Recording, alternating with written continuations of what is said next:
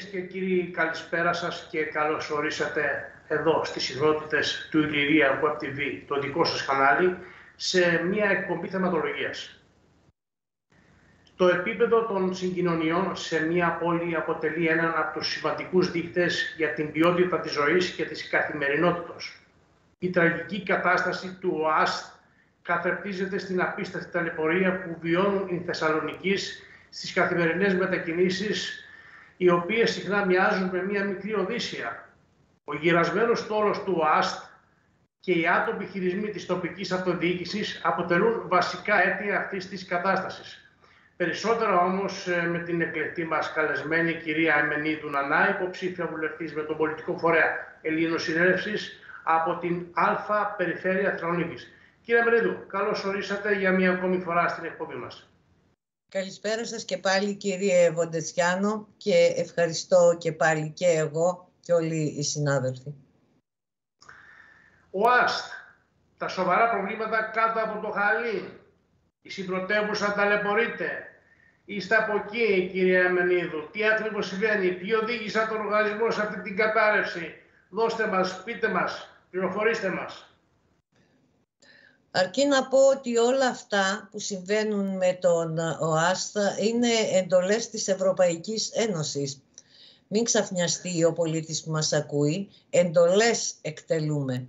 Σας είπα από το 1992 με τη συνθήκη του Μάστρεφτ ότι θα έπρεπε ε, πάρα πολλοί ε, θεσμοί, φορείς, πλούτος, εθνικός πλούτος, κρατικός πλούτος να περιέλθει στα χέρια των ιδιωτών με ένα ε, γελίο, με μια γελία δικαιολογία ότι με αυτόν τον τρόπο οι υπηρεσίες και τα προϊόντα θα είναι ανταγωνιστικά, θα υπάρχουν θέσεις εργασίας και πάρα πολλά άλλα. Αλλά μίλησαν για τα ανταγωνιστικά προϊόντα.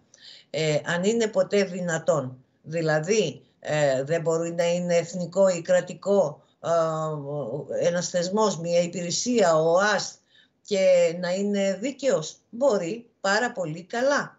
Αν είναι δίκαιη, δίκαιος ο κυβερνήτης της ε, χώρας, αν είναι δίκαιη η νόμη που βγάζει, ε, θα είναι μια χαρά. Θα λειτουργήσει ο ΑΣΤ και κάθε ένας φορέας. Απλώς με εντολές της Ευρωπαϊκής Ένωσης, ε, τώρα Ευρωπαϊκή Ένωση, ΕΟΚ τότε, αυτό το σχέδιο είναι δεκαετιών, Πάμε και πάλι στο σχέδιο Gunderfor Kalergi που λέει ότι ε, αν τα πάντα πάνε σε ιδιώτες και όχι ένας απλός ιδιώτης, μιλάμε για ιδιώτες που έχουν χρήμα. Τουλάχιστον φαίνεται να έχουν χρήμα γιατί όλοι κινούνται με κρατικό χρήμα μέσω των τραπεζών. Λοιπόν, ε, σε αυτούς που αυτοί όλοι είναι της νέας τάξης πραγμάτων, που σημαίνει ότι όλοι μεταξύ τους ε, ε, επικοινωνούν για ένα τελικό στόχο και σκοπό και από τη στιγμή που το κράτος είναι ανίσχυρο γιατί δεν έχει πόρους, τα πάντα έχουν πάει σε ιδιώτες ε, και με τις εντολές τώρα, τώρα της Ευρωπαϊκής Ένωσης φτάνουμε σε αυτό το σημείο. Οπότε ο Μητσοτάκης έτσι κι αλλιώς χαρακτηρίζεται το καλό παιδί της Ευρώπης, ο Yes Man, να σκύβουμε τη μέση, γι' αυτό είναι και η τελευταία τρύπα του ζουρνά που λέμε και στο χωριό μου. Δεν τον υπολογίζει κανένας, δεν τον ε, υπολείπτεται κανένας. Σε όλες τις διεθνείς συναντήσεις πολιτικών προσώπων τον βλέπουμε ξεχασμένο, πεταμένο σε μία γωνιά και μας λυπεί αυτό ε, κύριε Βοντετσιάνο. Εμένα με στεναχωρεί πραγματικά κάτι τέτοιο. Ε, ενώ ο ο Ερντογάν που λέει σε όλα όχι και αυτός υποχείριο είναι άλλον, τον έχουν εκεί για να παίζει αυτό το παιχνίδι, ε, τα πάει καλά με όλους και με την Αμερική και με τη Ρωσία και με όλα τα κράτη. Εν πάση περιπτώσει, ε, στην έκθεση την 83η που μίλησε ο Μητσοτάκης, ε, είπε τα δικά του γιατί αποδομούμε τη δική του ομιλία, οπότε πάνω σε αυτό μίλησε ε, και ο πρόεδρος του ΆΣΤΟ, ο κύριος Στέλιος Παπάς και φυσικά με ό,τι, ό,τι ερωτήσεις και αν έκανε απάντηση σαφής δεν δόθηκε και του είπε στο, στην τελική ότι συγχαρητήρια, ηρωνικά βεβαίως, που το 2014 λέει συγκαλύψατε τους κρατικοδίκαιους φίλους, σας, φίλους σας στον ιδιωτικό ΟΑΣ, ιδιωτικό σε εισαγωγικά, που από τότε προετοιμαζόταν και με όλες τις κινήσεις του ΣΥΡΙΖΑ. Είναι ένα μπερδεμένο κουβάρι ο ΟΑΣ, δεν μπορούμε πουδενή σε ένα τέταρτο να αναλύσουμε πώς και γιατί επί ΣΥΡΙΖΑ κόπηκε σε τρία κομμάτια ε, αυτό το, αυτή η επιχείρηση που ήταν ε, κρατική. Ε, κάθε ένας έχει και ένα κομμάτι που άλλο αφορά την κατασκευή δικτύου, άλλο αγορά υλικών, άλλο τα ε, τα εισιτήρια και πάρα πολλά άλλα. Ε, το θέμα είναι ότι κομματιάστηκε. Ε, ήρθαν ε, κάποια νομοσχέδια από τα οποία οι 14 λέει ε, από τους 16 φορείς που μίλησαν για αυτό το νομοσχέδιο το χαρακτήρισαν φωτογραφικό. Έτσι γίνεται. Μιλήσαμε σε προηγούμενες εκπομπές κύριε Βοντετσιάνο ότι και κλεισμένων των θυρών πολλές φορές οι διαγωνισμοί έχουν να κάνουν με ένα άτομο. θυμόσαστε ότι μιλήσαμε για ένα χορό δισεκατομμύρια έτσι δεν είναι; Ακριβώς, θυμάμαι, Σε προηγούμενη. Κάπως έτσι έγινε και με την uh, Τρενοσέ, ε, με, τη, με τον ε, ΟΑΣΤ, με τον ΟΣΕ και λέει, το θετικό λέει, να σας πω ακριβώς, το θετικό είναι η κατάργηση μιας ανεξάρτητης αρχής, της ρυθμιστικής αρχής επιβατικών μεταφορών, ΡΑΕΜ, δεν είναι η ΡΑΕ, είναι η ΡΑΕΜ εδώ, επιβατικών μεταφορών, μιας από τις πολλές κοστοβόρες και ουσιαστικά αντισυνταγματικές που επέβαλε η Ευρωπαϊκή Ένωση. Το λέει ξεκάθαρα, επιβάλλω σημαίνει θες δεν θες θα το κάνεις, γιατί το λέω εγώ. Βλέπε Γερμανία όταν μιλάμε για Ευρωπαϊκή Ένωση. Λοιπόν, ε, ε, εκτός λέει αυτού, το νομοσχέδιο περιλαμβάνει ρυθμίσεις για τον ΟΣΕ, ο οποίος μετά τη σμίκρινση και τη δίθεν εξυγίαση του Χατζηδάκη, εξηγαίνει τώρα ο Χατζηδάκης, αν είναι δυνατόν, τον τεμαχισμό ε, από το 2010 αρχίζει τον τεμαχίζει το ΠΑΣΟΚ, το ξεπούλημα της Τρενοσέ επί ΣΥΡΙΖΑ, δείτε εγκλήματα που κάνει κάθε μία κυβέρνηση, αντί να διορθώσει τα κακό κείμενα της απερχόμενης, γιατί πάντοτε όταν είναι αντιπολίτευση λέει, διαλαλεί, ε, λέει πομπόδι λόγια. ανταυτού ε, ξεπούλημα της Τρενοσέ επί ΣΥΡΙΖΑ, πάλι με εντολές της Ευρωπαϊκής Ένωσης και έχει απομείνει ως μία λέει επιδοτούμενη και ζημιογόνα υποδομή με μοναδική θηγατρική την εργοσέ που αποσχίζεται. Επιδοτούμενη σημαίνει από οποιαδήποτε προγράμματα που θα μπορούσαν να πάνε να ανοικοδομήσουν ε, και να αναδομήσουν ε, πολλά αλλά ε, αφού ξέρουν ότι είναι ένα βαρέλι χωρίς πάτο αυτή τη στιγμή παρόλο το, αυτό το χρήμα ρέει. Αρκεί να μην πάει στον Έλλην πολίτη. Ε, Νέα Δημοκρατία, Πασόκ, ΣΥΡΙΖΑ, η Τρόικα λέει του εσωτερικού, τα τρία κόμματα δηλαδή αυτά λειτουργούν ως μνημονιακά εργαλεία της Γερμανικής Ευρωπαϊκής Ένωσης. Και το βλέπουμε ε, μπροστά μας τώρα. Σε κάθε περίπτωση λέει, όπως συνήθως συμβαίνει με τις νεοφιλελεύθερες ληστρικές, γιατί αν τις αναλύσουμε επιμέρους θα δούμε ότι όλες αυτές οι αποφάσεις είναι ληστρικές, της Ευρωπαϊκής Ένωσης εννοείται, μεταρρυθμίσεις, η ζημιά του ΟΣΕ έγινε, ε, πού μετακύλησε πάλι, σε εμάς. Όλη η ζημιά του ΟΣΕ, κύριε Βοντεσιάνο, θα την πληρώσουμε εμείς. Τα κέρδη όμως από τα εισιτήρια η παρασιτική λέει τακτική, ε, πηγαίνει στην Ιταλική κρατική καθώς επίσης ε, επιδοτούμενη, στην Τρενοσέ. Κατανοείτε τι σας λέω. Τα εισιτήρια δηλαδή της Τρενοσέ ε, ιδιωτικοποιήθηκαν στην Ιταλική εταιρεία που λέγεται Hellenic Train αυτή τη στιγμή. Κρατικοποιεί, άλλα κράτη κρατικοποιούν η Ευρωπαϊκή Ένωση επειδή θέλει να τεμαχίσει και να εξαφανίσει τον Έλλην από εδώ, αφού ξεπουλήσει τα πάντα, ε, σε οποιονδήποτε αρκεί να μην μείνει στην Ελλάδα και στον Έλληνα πολίτη.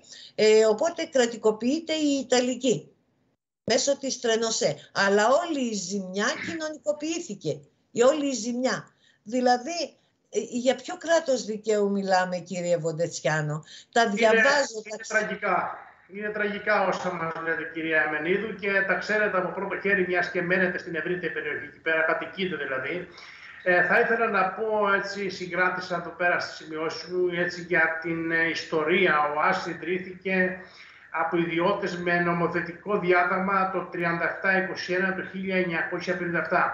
Και θα ήθελα λίγο να αγγίξουμε λίγο και τους ε, πολίτες, τους φίλους που σίγουρα έχουν κάποιες ανησυχίες, κάποιες ερωτήσεις και αν έχετε την εικόνα να μας πείτε την κατάσταση του στόλου, αριθμό, βλάβες, προσωπικό, μισθή, ασφάλιση, επαγγελματίες, οδηγούς έχουμε; Δρομολόγια, τακτικά, στάσεις, να μένει ο κόσμος, όλα αυτά ενδιαφέρει τον κόσμο. Πάμε λίγο να προσεγγίσουμε για αυτό το κομμάτι. Τι λέτε; Πολύ σωστή ερώτηση. Λοιπόν, ε, όταν θέλουν να δικαιολογήσουν ε, το ότι τη δώσαμε γιατί ήταν προβληματική, άσχετα αν τα βάρη όλα αυτά βαρύνουν πάλι εσάς και εμένα, αλλά τα κέρδη αφού την τεμάχιασαν κάποια κομμάτια έχουν κέρδη. Οπότε εκείνο το κομμάτι πηγαίνει σε ιδιώτες μια χαρά ωραία και καλά, όχι να αποσβέσουν κάτι, σε ένα βάθος χρόνου τα εισιτήρια να αποσβαίνουν ε, την χασούρα. Όχι, εμείς θα πληρώσουμε εκατομμύρια για τη χασούρα που είχε η ΟΣΕ, η Τρενοσέ, αλλά αυτοί θα παίρνουν τα εισιτήρια. Και ε, πάντοτε όταν γίνεται μια τέτοια κίνηση βάζουν έναν τίτλο ε, στην ομιλία ή στα κείμενα ε, κύριε Βοντετσιάνο που λέει ότι να την διαδρομή Θεσσαλονίκη-Αθήνα ε, θα την κάνουμε σε 3,5 ώρες. Αν δε κύριε Βοντετσιάνο πάλι σε 4 ώρες γίνεται αυτή η διαδρομή μισή, για μισή ώρα κέρδος χρόνου αν είναι δυνατόν. Οπότε δεν είναι ούτε καν σε αυτόν τον τομέα ανταγωνιστική όσον αφορά το, το κτέλ και όσον αφορά το αεροπλάνο. Ειδικά αν θέλω εγώ να προγραμματίσω να πάω στην Αθήνα, μπορώ ε, ψάχνοντας ε, διαδικτυακά να βρω και με 20 ευρώ εισιτήριο να πάω στην Αθήνα αεροπορικός χωρίς τα λεωφορεία, χωρίς τίποτα και οπουδήποτε εντός Ελλάδος για να μην πω και σε όλο τον κόσμο. Αλλά ε, δεν συμβαίνει. Αυτές οι παραγγελίες, το χρυσό βέλος και αυτό ελαττωματικά μας δίνουν αρκεί να πέσουν οι μίζες. Και αυτό με πλήστα προβλήματα κύριε Βοντετσιάνο. Χαλάνε ειδικά τότε με την κακοκαιρία, με την κακοκαιρία ελπίδα, χαλασμένα, καταταλαιπωρημένος ο κόσμος και πάλι. Δηλαδή όλη τη σαβούρα εδώ μας την πετάν. Και φυσικά για να υποστηριχτεί από τεχνική άποψη θα πάρουμε ξένους. Υπέγραψαν κιόλας κάτι τέτοιο.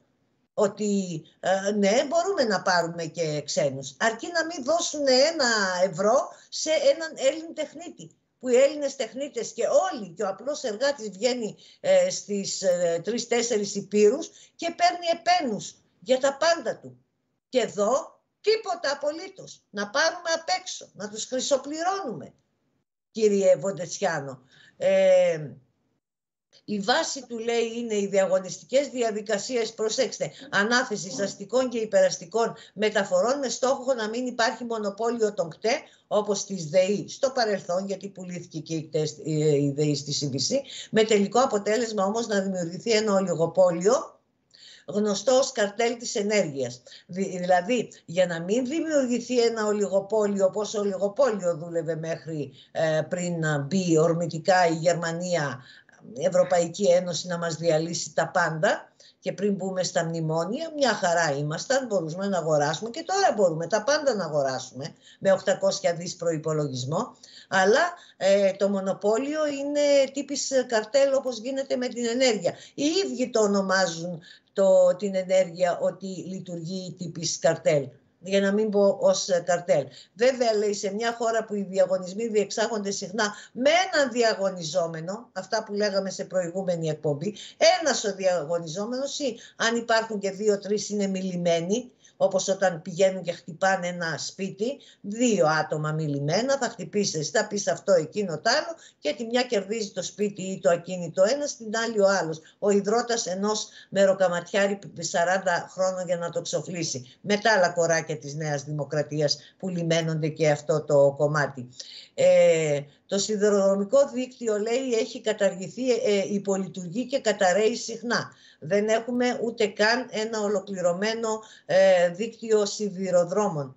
Και είχα διαβάσει πολλά χρόνια πριν ότι ακόμα και επί ε, Χούντας, επί Παπαδόπουλου, είχε υποβαθμίσει το, τα τρένα τότε για να ε, προωθήσει ε, φίλους του οι οποίοι ήταν εισαγωγής αυτοκινήτων.